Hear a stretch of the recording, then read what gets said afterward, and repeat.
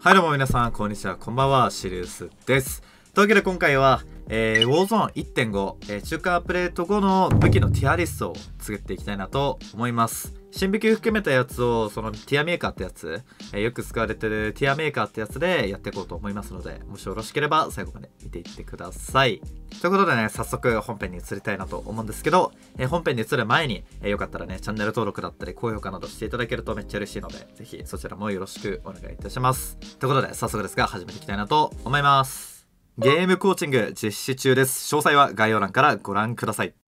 はい、ってことで、えっと、ティアメーカーの方に移ってきました。こんな感じで S から D までのランクでやっていきたいなと思います。で、えっと、武器に関しても、こんな感じでね、めちゃくちゃ分かりやすい表が、えー、作ってあるやつ、見つけることができたんで、こちらで進めていきたいなと思います。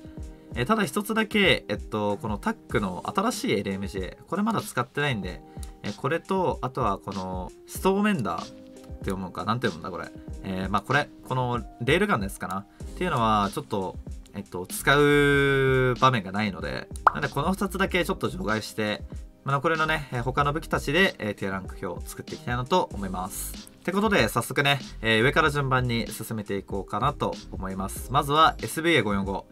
SVA545 は、個人的に、まあ一旦 S に置いときます。まあ、フルオート運用した場合だったら、まあ、近距離とか中距離、割と溶かせますし、あとは、えっと、セミオート運用で、えっと、使うと、2点バースト打ちでそのセミオートをずっと打てるっていうので、あまりブレることなく、かつ結構ね、速いスピード、それで敵を溶かすことができるんで、まあ、S にいてもいいんじゃないかなっていうので、えー、一旦ここに置いておきます。で、続いてラム7。ラム7も個人的に S かな。今 AR で使われてる2強がこの2つなんですよね。えっと SVA だったらその最初の初段当てたらめっちゃ溶かせるって武器。で、ラム7はえっと無ブレでまあ安定感のある武器となってるって感じで、そういう感じでね使われてるんですけど、まあラム7の方が割と使用率の方が高いかなっていう風に思います。まあ癖がなくて扱いやすいんで、えそれでラム7、え強いんでね。まあ、ワンチャン SVA は A に行く可能性あるんですけど、まあ、ラム7は今 S でいいんじゃないかなって思います。で、続いて MTZ556。これはまあ C かな。えっと、全武器任務完了チャレンジで使ったことあるんですけど、えー、この武器は中間アップデートが入った時にも特に強化入ってなかったかな。で、まだまだやっぱね、そのブレとかは、そのジャック、えー、BFB のおかげで、えー、なくなってはいると思うんですけど、火力がないんで、そこがめちゃめちゃきついっすね。B にもいかないから、もう C か D ぐらいって全然なんだろう収まっちゃうぐらい、まあ、そこまで強くないかなって武器なんでまあシーズン2でワンチャン強化されたら嬉しいですねこれは。でホルガー556ホルガー556はまあ B かな。正直強化される前は、えっと、C でいいかなぐらいだったんですけどまあ、強化されてから割と火力もちょっとねマシになってでもともとそんなにブレが強い武器でもないんで、まあ、AR としてそこまで悪くない武器になったかなと思います。まあただねえっと S に入れたこの2つの武器に比べるとやっぱり特徴がないんで、まあ、B ティアかなって感じです。で MCW MCW は C かな。一応中間プレートで強化された武器なんですけどまあまだ火力が低いかな、まあ、それかもっと無ブレにする武器ですね。MCW ね、ちょこっとそのスピリットファイアとかでサプレッサーとかつけると、ちょこっとまだブレるし、まあ、かといってジャック BFB つけて無ブレにしても、まあ解けない。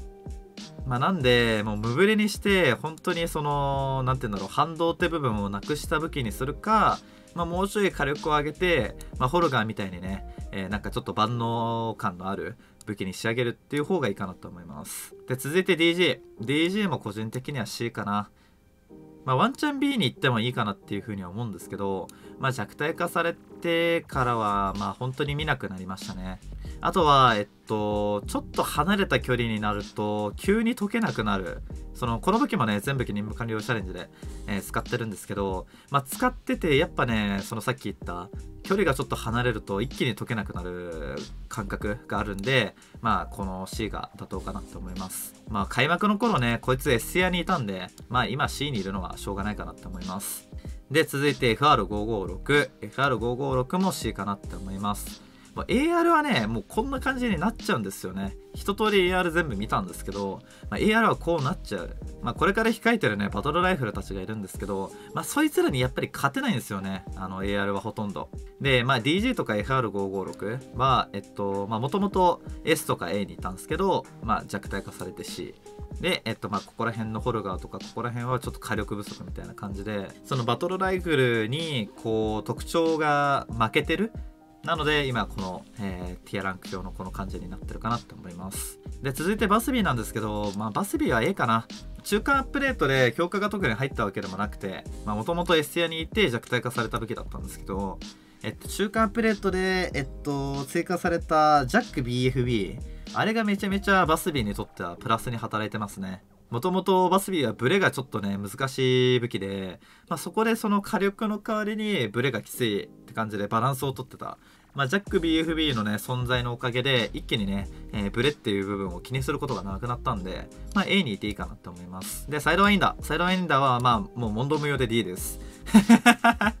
まあこの武器はね、一応あのコンバージョンキットが追加されて、まあ、Apex でいうディボージョンみたいな感じで、どんどん燃焼力が上がる、えー、そういうね、モッドが追加されたわけなんですけど、まあ元々の火力の低さ、まあ、当てにくさとか弾速が遅くて、えー、弾の当てにくさとかももろもろいろいろあるんで、まあまあまあ、もう妥当、妥当です、ここは。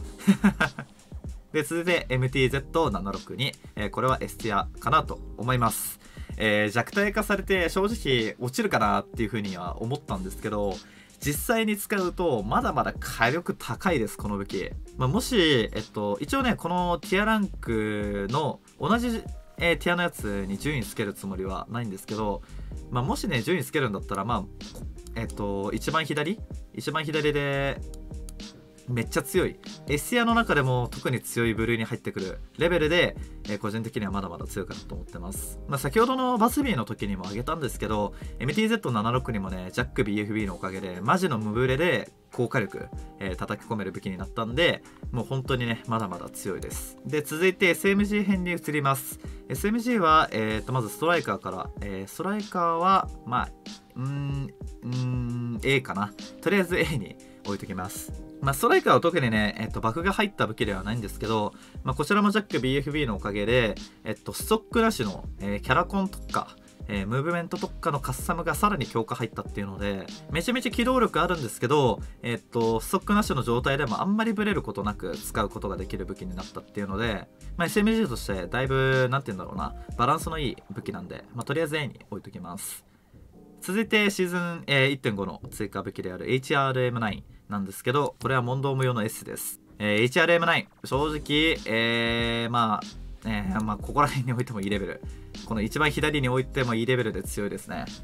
えー、ムーブメント特化のストックなしとショートバレルの、えー、カスタムでも強いですし、スナイパーサポートとしての運用を考えた、えー、ロンバレと、あとは、えっと、ストックの反動のないやつをつけた、えー、ちょっと重いバージョンでもめっちゃ強い。あとはショートバレルと重いストックをつけた万能タイプの、やつでもむちゃくちゃ強いんで、まあ、とにかく武器の性能が高すぎます、まあ、シーズン2で弱体化されてもおかしくないレベルでめちゃめちゃ強いんで、まあ、これは問答無用の S ですね、まワンチャン S プラスがあったらそこに入るレベルの強さしてます。で続いて WSP スワーム、えー、スワームも A かな。もともと S にいて、えっと、強すぎたんで弱体化はされたんですけど、まあ、まだまだ使えるレベルかなと思います。まあ、全然強いと思います。まあ、配信で結構言ってるんですけど、今の Warzone の SMG 環境っていうのは、まあ、弱体化と、あとは弱かった武器を強化することによって、だいぶバランス整ってるんで、ほんと結構ね、高い順位にみんないる感じになってると思います。で、続いて AMR9。AMR9 も A ティアでいいかなと思います。えー、この武器は、えっと、1.5で、シーズン1.5で強化された武器なんですけど、え、海外ではね、だいぶ人気、え、が上がってる武器になってますね。まあ、火力の面がかなり上がったっていうので、もともとのその武器の安定力に加えて、まあ、ジャック BFB の、えー、アタッチメントで無ブレにしつつ、ストックなしとか、えー、DR6 ハンドストップのように、えー、キャラコンを上げる、えー、ムーブメントを上げるやつをつけることによって、かなりバランスのいい武器になりましたね。スナイパーサポートとしても活躍できる武器だと思うので、まあ、この順位にいていいかなと思います。で、続いて WSP9。WSP9 も、まあ、A でいいかなと思います。まあ、本当とにかく SMG 今めちゃめちゃ強いと思います。WSP9 は特に評価も何も入ってないんですけどこの武器ねもともとのポテンシャルめっちゃ高いと思うんですよね使ったことない人いたらぜひ使ってほしいんですけど、えっと、火力結構高いですであとは、えっと、まあ、えー、ジャック BFB。これもジャック BFB のおかげで、えー、ストックなしの状態で、えー、ムブレで使えるんで、高火力かつ、そのムーブメントがね、えー、かなり強い武器になってるんで、これも A ティアにいていいかなと思います。で、続いてライバル9。ライバル9はまあ C ティアかな。えっと、唯一 SMG で今弱い武器だと思います。この武器の、まあ、C ティアにいる理由としては、まあ、ちょっと火力がないことかな。高レートで弾の消費が激しいんですけど、WSP スワームとか、あとはまあ HRM9 のように、えっと、高レートでもう、その、なんて言うんだろう、火力がある武器ではないと思うんですよね、ライバル9。なんで、その一人一人に使う弾数が多い上に高レートなんで、えー、すぐね、弾切れ起こしちゃうみたいな、リロードが必要になってしまうみたいな、えー、感じの武器なんで、まあもうちょっとなんか強化してあげる方がいいかなって思う、まあそんな武器となってます。で、続いてストライカー9も A ティアでいいかなと思います。まあ、ストライカー9も、え、ー、と、強化が入った武器ですね。AMR9 のように。で、えっと、今ある、まあ、この SMG の中で、まあ、左から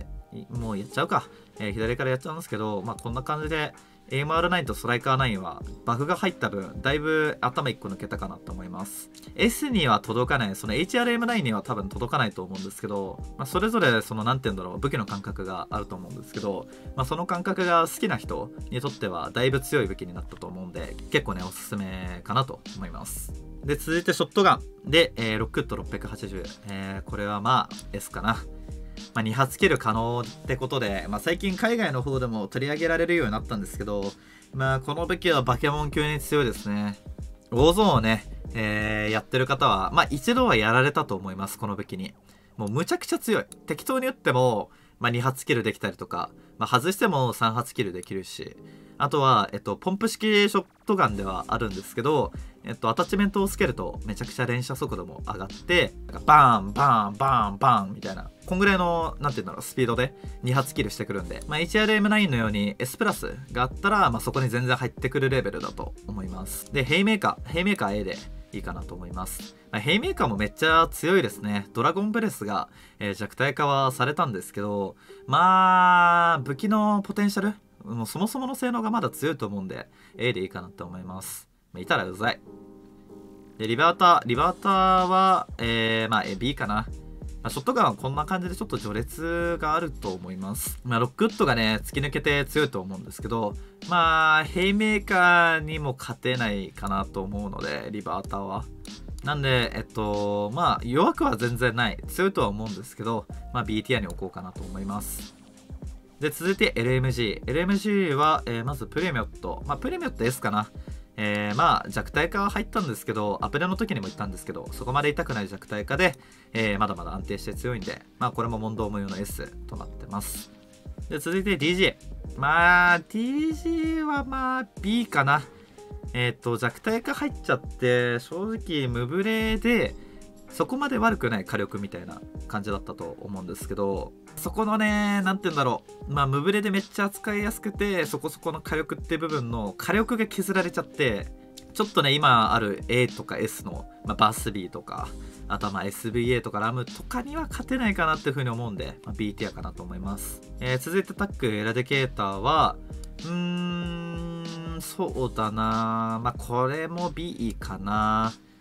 まあ正直 A にいてもいいと思うんですけど、まあ一旦 B に置いときます。タックエレデケーターも火力が下がりました。まあ、ただ、えっと、まあ、LMG に、えー、っと、全部言えることなんですけど、基本的にはブレがないんで、めちゃめちゃ使いやすいですね。特にエレデケーターは、そのアイアンサイトも見やすいっていうので、あんまりそのサイトにアタッチメントの枠を振らずに、他のアタッチメントに枠が振れるっていう点もめちゃめちゃ強いんで、まあそう考えるとちょっとホルガーと一緒はちょっと違うか。まあ ATA に置いときます。で、続いてブレン。まあ、ブレンは B かな。まあ、DG とブレンはちょっと似たような感じがあると思います。そこそこの火力だったけど、えー、そこ弱体化されちゃった。まあ、ただ、無ブレで、なんて言うんだろう、そこら辺は悪くない。扱いやすさは悪くないんで、まあ、B でいいかなって思います。で、ホルガー26。ホルガー26も B かな。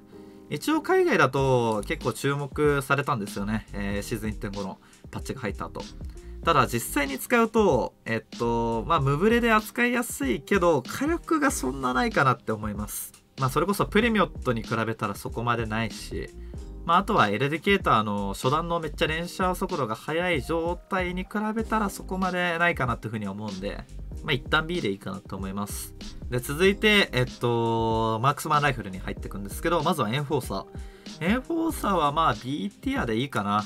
えー、これもね、ちょっと marksman 全体に言えることなんですけど、えー、 marksman 一発の火力が高くて、大体、まあ、胴撃ちだったら5、6発で、ヘッショ込みで4発になったりするみたいな武器が多いんで、 aim の自信のある人が使うと、まあ、だいぶ強いと思います。まあ、ただ、やっぱり S とか A には届かないかな。まあ、弱体化されまくってるっていうのもあるんで、結構厳しい状態ではあるんで、まあ、B ティアかな。で、MCW6.8 も B かなって思います。これはね、でもまだまだ強いかな。全然 A ティアに入ってくるレベルの武器性能はしてると思います。コンバージョンキットはまあちょっと使えないんですけど、えー、まあそもそもその状態での連射力の高さとあと弾速の速さ、まあ、火力もまだまだ全然あるんで、まあ、これワンチャン A に行けるかもしれないんですけど、まあ、一旦 B に置いときます。で続いて DM56 DM56 もまあ B でいいかな。まあ、この武器はね、えっと、もともと安定感めっちゃ高い武器。で、弾数も最大40発、かつ、えー、火力も結構あった。まあ、マックスマンライフルってことで火力も結構あった武器で。まあ、シーズン1の時から弱体化結構されてた武器かなって思います。まあ、ただまだまだ強いんじゃないかな。まあ、コンバージョンキットのバーストはちょっと使えないんですけど、そのまあ安定感とか手厚さとか、そこら辺は全然まだ残ってると思うんで、まあ、B ティアにいていいかなって思います。で、インターセプター。インターセプターは、うーん、まあでもまだ A ティアにいていいかな。うん、A ティアにいていいかなって思います。理由としては、えっと、まだまだ、えっと、4発キルできるんじゃなかったっけな。ヘッショ1発入れて、えっと、同打ち3発とかで4発キルできるし、まあそもそもね、なんか同打ち5発とかでもまあ強いと思うんで、まあ弱体化が入ったっていうので、使われにくくはなった武器だとは思うんですけど、まあ通常のバトルロイヤルの状態で、えー、まあロングとかね、えー、ある状態で戦ったら、まあまだまだ使えるんじゃないかなと思います。で、えー、続いてスナイパーに入っていくんですけど、えー、まずは追加されたストーカー。XRK ストーカーはまあ C ティアかな。えっと、一応炸裂弾でワンパンできるし、あとはカスタム次第での覗き込みがめっちゃ早いとかあるんですけど、まあ、この後ね、出てくる武器が、まあ、めちゃめちゃ強いんで、まあ、ここら辺でいいかなと思います。あと、今作のスナイパーめっちゃむずいんで、CTR でいいかなと思います。で、続いてカット。カットはまあ S でいいかなと思います。まあ、カットはね、えー、全距離ワンパンあるんで、まあ、これ問答無用の S でいいかなと思います。で、続いてロングボウ。ロングボウはまあ D かな。えー、なんで D に置くかっていうと、この武器は、胴体含めて3発キルとかしなきゃいけないんですけど、えー、今作のスナイパーはひるみ耐性が全然ないんで、その3発撃つ間に敵に絶対撃ち返されるんですよね。で、そうなったら、えっと、ひるみ耐性がない分、スコープがブレて、弾が当てづらい。まあ、とシンプルに3発撃たせてくれるような、そののんびりする時間も多分ないと思うんで、まあ D かなと思います。ただ、この武器を2発キルにしちゃうと、まあ、とんでもなくぶっ壊れちゃうんで、まあ、しょうがないかな、この位置にいるのは。で、続いてインヒビター。インヒビターもまあ、ここかな。D かなって思います。この武器は多分、えっ、ー、と、ロングボウよりもっと弱いですね。セミオートで連射力はまあまああるかなって風には思うんですけど、まあ火力がない。前作で言うとシグナルがめっちゃ、えっと、セミオート武器で、えー、強かったと思うんですけど、まあ、シグナルのその2発キルとかあったやつに比べるとだいぶ弱い。まあ、このね、3つのスナイパーは、まあ、全部ね、そのやっぱカットでよくねみたいな感じになっちゃうんで、まあ、このランク C と D に入ってる感じですね。で、続いてナイフ。まあ、ナイフはまあ、どっちとも D でいいかなと思います。まあ、え、近距離に近づけたらめちゃめちゃ強いは強いんですけど、まあ、そういうシチュエーションがどれくらいあるかって話なのと、まあ、あとは、まあ、ショットガンとかそれこそロックットとかまあ、ヘイメーカーかな特にヘイメーカーいたら、まあ、多分何もできないんで、活躍させるのがめちゃくちゃむずいんで、まあ、とりあえず D に置きました。ただ、ちゃんとなんかナイフを活かせる人が、えー、っと、使うと、まあ、A とかそんぐらいに入ってる、くるレベルで、まあ、なんて言うんだろう、火力はまああるんで、使い手によってめちゃめちゃ変動する、まあ、そんな武器かなと思います。で、続いてコール45。コール45は、えー、まあ B かな。B でいいかなと思いますハンドガンにしてはねめっちゃ結構高いとこにいると思うんですけどえっ、とまあ B に入れた理由としては初動を持ってるとめっちゃありがたい武器だしコンバージョンキットコンバージョンキットを使用した、えっ、とコール45の火力って結構高いんですよねであとは弱体化も入ってなかったと思うんでまだまだまあソロ専用ではあると思うんですけど、えー、そのコンバージョンキットを使用したカスタムで活躍できると思うんで全然ここら辺にいていいかなって思います。でレネッティ。レネッティはまあ C かな。えー、まあ正直ワンチャン D あるっちゃあるんですけど全然何て言うんだろうな。復帰とか、まあ、初動とか持っててまあ全然嬉しい武器なんで、まあ、とりあえず C まあただえっ、ー、となんかそれこそ、えー、コール45のように活躍できるかって言われたらロードアウトとか組んで活躍できるかって言われたらちょっと難しい武器なんでで、ティアも、まあ C かな。前のスネークショットとかはね、もう S みたいな感じで強かったんですけど、まあそういうのも全部弱くされて、まあ、活躍するのは難しいかな。一応コンバージョンキットでめちゃめちゃロマン砲ができたはできたんですけど、あれをちゃんと当てきるというか、あれを扱い切るっていうのもなかなか難しいし、まあ、打つまでちょっとディレイあるとか、癖もあるんで、まあ、このランクでいいかなと思います。で、続いて WSP スティンガー。えー、スティンガーも C かな。ただこの武器はほとんどね、見たことない人多いと思います。ただね、この武器ほとんどみんな使ってないんで、もう何とも言えないですね。ただ、えっと、ちゃんと使おうと思って、えっと、ロードアウトとか組んであげると、まあ、ソロなら、ソロなら全然いけるかなっていうふうには思うんで、まあ、ここら辺の D の武器に比べたら、まあ、まだいけるかなと思います。で、最後にグレポン。まあ、グレポンは D。まあ、これは難しい。難しいし、えっと、まあ、火力も少ないですね。まあ、火力も低いですね、これは。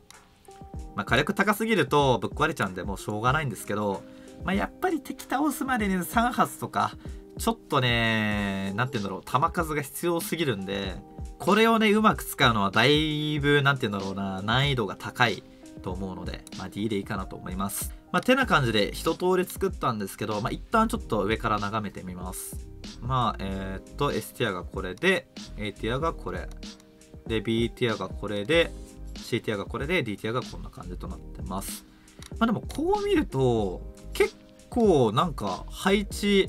なんか A から C 全部個数一緒だし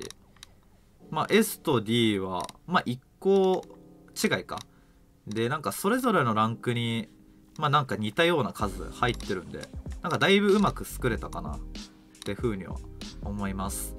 はいというわけで、えー、ティアランク表ね作ってみたんですけど以上となります。皆さんいかがだったでしょうか？初めてね、ティアランク表を作ってはみたんですけど、意外とね、バランスよく配置することができたんで、ちょっとね、驚いてます。まあ、ちょっとね、長かったんですけど、最後までご視聴していただきありがとうございました。またね、えー、別の動画だったりとか配信などでお会いいたしましょう。お疲れ様でした。じゃあねー。